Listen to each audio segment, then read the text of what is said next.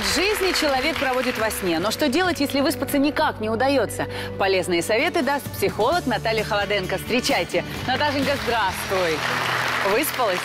Конечно. Ну, самые разные причины мешают современному человеку выспаться. Сон – это не роскошь, это необходимость, без которой мы не можем нормально функционировать. Неправильный сон. Чем это чревато для здоровья? Это могут быть нервные срывы, может быть усталость, могут быть сердечно-сосудистые заболевания. Причем, когда я говорю «могут быть», они могут быть с очень большой вероятностью. Сьогодні проблема порушення сну актуальна в усіх країнах світу. За даними Всесвітньої організації охорони здоров'я, 8 людей з 10 страждають через недосипання. Недосипання пришвидшує процеси старіння, погіршує тону шкіри. Британські вчені довели, що недостатність сну стимулює виділення гормону голоду. Таким чином підвищується апетит, і людині, що не висипається, складно зупинитися їсти, навіть коли вона вже спожила свою звичну порцію. Відповідно, люди, які не досипають, починають страждати на ожиріння. Якщо ви не висипалися протягом двох діб, ризик захворіти на грип чи застуду зростає в десятеро. Хронічне недосипання протягом двох місяців може стати причиною інсульту та інфаркту, а ризик серцевих нападів зростає на 45%. Проблема настільки глобальна, що змусила вчених світу розробляти спеціальні приводи, аби людина могла безпечно досипати в транспорті, навіть стоячи, або під час обідньої перерви на роботі. Втім, такий сон менш цінний за нічний, тому обов'язково потрібно знати, як правильно спати, аби висипатися саме протягом ночі. Наверное, для современного человека как раз самое сложное есть вовремя лечь спать. Ну, вот мои гости, кто из вас ложится вовремя в 11 часов вечера? Поднимите, пожалуйста, руки.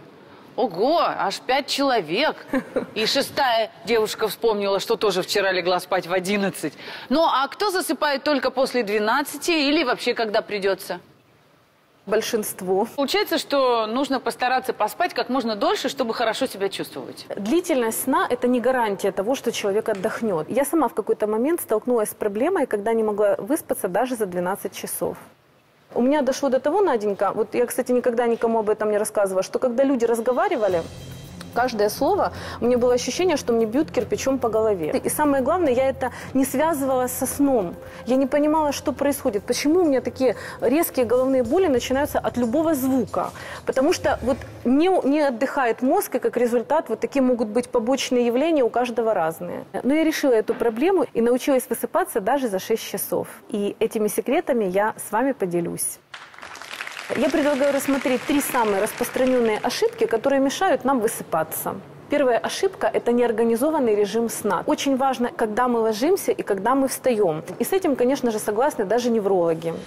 Я всегда говорю своим пациентам, которые мне рассказывают, что вот они от рождения сувы, и что они такие были прямо вот с детства, с глубокого, что если бы вы были сувы, вы бы видели в темноте. Если природа не дала человеку ночного зрения, она не предусмотрела его активной ночной жизнедеятельности.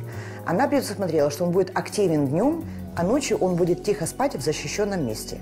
Поэтому все люди на Земле абсолютно это жаворонки, а совы – это люди со сломанными биологическими ритмами. То есть э, разделение на жаворонков и сов, к которому мы привыкли, оно что, природному биоритму не соответствует? Да, это миф. Вот мой личный опыт, который связан со сном. Когда я училась в университете, на первом курсе мы так сильно хотели быть отличниками, что мы зубрили по ночам Оно перед экзаменами. И это закончилось тем, что мы стали каждый день засыпать в 5 утра. Пар уже не было, это были подготовительные дни перед сессией, и мы засыпали в 5 утра, просыпались в 5 вечера. Казалось бы, в чем проблема? Должны выспаться. Но у меня было чувство, что я вампир. Засыпаешь на улице темно, просыпаешься на улице темно. Я была просто в таком состоянии прострации. Мы два месяца не могли перестроиться. Это была такая каторга. То есть мы уже умом созрели к тому, что необходимо просто ложиться раньше и вставать, но это было очень сложно сделать. И в результате мы приняли решение, что во сколько бы мы ни ложились, мы встаем в 8 часов утра. И как результат нам удалось все-таки перестроиться. Хотя перепробовали методов очень много. То есть из этого еще одно очень важное правило. Если мы хотим научиться вовремя засыпать, мы можем сначала приучить себя вставать в одно и то же время. Да. Да. И организм потом потребует у нас вовремя ложиться. Совершенно Да. верно. Взрослому человеку для того, чтобы выспаться, достаточно 6-8 часов в сутки. Но это время должно быть именно ночью. Человеческий мозг, он отдыхает только с 11 ночи до часу ночи в среднем. Два часа всего лишь? Это связано с биологическими ритмами, которые существуют вне того, какие у нас графики, какие у нас режимы и планы. Давайте посмотрим, что об этом говорят неврологи. К ночи постепенно дневная работа перестраивается в медленную ночную. И вот в этот момент включаются основные нейрогормоны. Серотонин, дофамин, норадреналин, ацетилхолин. И вот эти именно нейрогормоны включают образование энергии в клетке. Без этого процесса работы серотонина энергии в мозге у нас не станет. Если мы ночью не спим, то мы этот самый серотонин используем в дневном режиме. И эта энергия ночная уже на завтрашний день у вас не образуется. Она потрачена сейчас. Именно до полуночи происходят основные очень важные процессы, о которых я говорила. И они обеспечивают нашу завтрашнюю жизнедеятельность. Если человек в это время не ложится спать, то даже если он выспится свои 8 часов и догонит это время днем, его мозг уже не отдохнувший. И, соответственно, могут быть такие проблемы, как забывчивость, рассеянность, невнимательность. Это только первая фаза. В дальнейшем это просто могут быть даже какие-то физические заболевания. Ну тогда нам срочно нужно узнать, каким образом выспаться, если все-таки не удается лечь спать раньше полуночи. Необходимо воспользоваться той рекомендацией, которую разработали ученые, наблюдающие за людьми, работающими в ночные смены. У них большие проблемы со сном, естественно. После длительных исследований пришли к такому выводу, что если человек ложится в одно и то же время и просыпается в одно и то же время, это улучшает качество его сна. Угу. Необходимо выработать какой-то ритм. То есть очень важно для каждого из нас уметь засыпать тогда, когда это нужно. И знаете, каким образом это сделать? Из этого вытекает еще одна ошибка. Это неправильное подготовка ко сну. Скажите, пожалуйста, вот что вы делаете, когда не можете долго заснуть? Если я долго не могу заснуть, э, я включаю ночничок и читаю книгу. У меня для этих целей даже специально книжечка лежит под кроватью. У кого еще есть свой способ? У меня есть способ, э, я включаю телевизор так. и смотрю футбольные матчи. Да что вы! Да. Вы же гол кричите во сне. Все эти способы, которые рассказали уважаемые зрители, хочу сказать, это огромная ошибка. Когда мы смотрим телевизор перед сном или читаем, это не способствует тому, чтобы мы заснули. Наш мозг в это время не отдыхает, а работает, будто мы занимаемся спортом.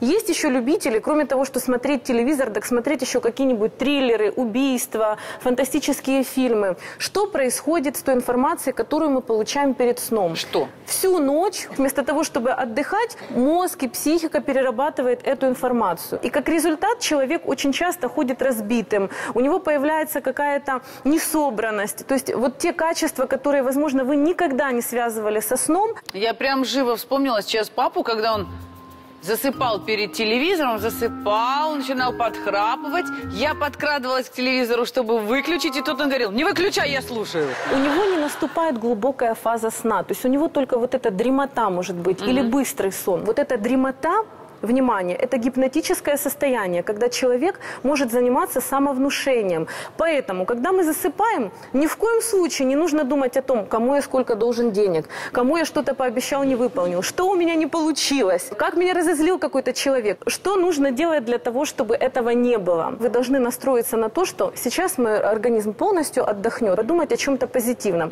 Если есть какие-то навязчивые мысли, от которых вы никак не можете отключиться, для этого есть одно простое простое упражнение. Глазами просто резко вправо и резко влево поделать где-то 25 раз. Вот попробуйте сейчас. Просто резко вправо и резко влево. Резко вправо и резко влево. С помощью этого упражнения мы массируем э, определенный участок мозга, который снимает вот эту мысль навязчивую, которая стала доминантной. Какое хорошее упражнение. Никто не заснул? Нет?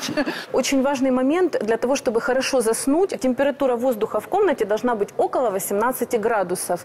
То есть у вас должно быть теплое одеяло, телу должно быть тепло, а голова должна быть в холоде. Идеально это когда вы привыкаете спать с открытой форточкой. Поверьте, никто от этого не заболеет, если вы настроитесь на то, что это просто вам необходимо. И даже некоторые специалисты рекомендуют людям, которые очень страдают от бессонницы, положить подушку в какое-нибудь холодное место, ну, например, на балкон, и перед сном лечь на холодную подушку. Кроме того, многие люди не замечают, что в комнате находится много мигающих предметов. Вот мобильный телефон поставили на зарядку, там телевизор выключили, у него какой-то тоже сигнальчик Да. мигает. Даже когда мы спим, наш мозг, он всю эту информацию считывает. И это не дает происходить глубокому, полноценному сну. Но даже если человек вовремя лег и сделал все правильно перед засыпанием, нередко бывает, вот как будто встал не с той ноги, да? Это одна из самых распространенных ошибок, но которая нам очень подвластна. Это когда люди просыпаются не в той фазе сна. Дело в том, что есть быстрый сон и есть глубокий сон. И вот если человек просыпается в фазе глубокого сна, как результат он целый день ходит разбитым. Протягом ночі наш організм проходить три фази сну. Перша, так звана гіпнотична стадія дрімоти. Ми ще не спимо, але вже закрили повіки і засинаємо. Цю фазу ми проходимо лише раз. Наступні дві довгого сну та швидкого по черзі змінюють одна одну протягом усієї ночі. Подивіться, як спить людина. Зараз вона рухається, може навіть розмовляти у вісні. Це фаза довгого сну, під час якої знижується температура тіла, всі процеси в організмі уповільнюються, дихання стає глибшим. Саме під час цього сну організм розслабляється і відновлює сили. Триває ця фаза від 40 хвилин до півтори години. Слідом наступає фаза швидкого сну. Подивіться, як змінюється поведінка людини. Вона не рухається. Тонус м'язів відсутній, але мозок працює значно активніше, ніж у попередній фазі. У людини починають швидко рухатися очі під заплющеними повіками. Саме в цей момент ми бачимо сни. Фаза швидкого сну від циклу до циклу стає довшою і триває до 20 хвилин, а глибина сну знижується. Організм ніби підказує нам, коли найлегше прокинутися. Саме під час швидкого сну, коли ми вже бачимо сни. І, як правило, прокинувшись правильно, ми будемо пам'ятати свій сон. Якщо ж людину розбудити під час повільного сну, вона почуватиметься розбитою протягом усього дня. А ну как нам определить, в какой мы фазе сна находимся, если мы спим? Вот я по опыту проверила, по своему. Например, если я встаю в 7 утра, мне очень тяжело проснуться. Если я встаю в 6 утра, я себя чувствую бодро. Хотя я сплю на час меньше. Ну как такое возможно? Поэтому вот вы определили там время, которое вам нужно вставать. Там, допустим, в 7 утра. Вы Да. просыпаетесь, плохо себя чувствуете. Ну попробуйте проснуться в следующий день на 10 минут раньше. Буквально 2-3 попытки, 2-3 дня вы на это потратите, но вы найдете то время, которое ваше, в которое вы просыпаетесь как раз в правильной фазе сна. А вот это распределение фаз сна по времени суток, оно однажды и на всю жизнь, либо это меняется от времени года, от возраста человека, от состояния здоровья, и нужно все время проводить вот такой эксперимент с собой. Эксперимент нужно проводить только в том случае, если меняется ощущение. В принципе, оно должно быть одно и на всю жизнь. То есть у кого-то просто фаза глубокого сна может быть 40 минут, у другого человека час, у третьего человека час 20. То есть они приблизительно в этом промежутке находятся. Пришел в 11 на работу и говорит, вы знаете, не мог раньше, потому что у меня была фаза глубокого сна, я должен просыпаться в 10. Но есть же еще и элементарная бессонница, которая такое количество проблем доставляет. Человек не может заснуть. Кстати, с вами такое случается? Поднимите руки, кто время от времени страдает от бессонницы. Боже, да серьезно?